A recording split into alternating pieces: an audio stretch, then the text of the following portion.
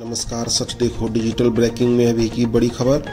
पश्चिम बंगाल की सीएम ममता बनर्जी ने रविवार को बीजेपी पर निशाना साधा।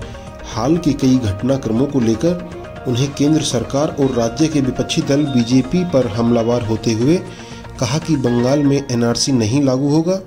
सत्ताधारी दल जो भी कह रहा है, वह सिर्फ़ चुनाव के कारण ही है।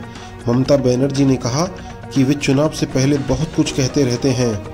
जी हाँ डिजिटल ब्रेकिंग में अभी की बड़ी खबर, पश्चिम बंगाल में नहीं लागू होगा एनआरसी।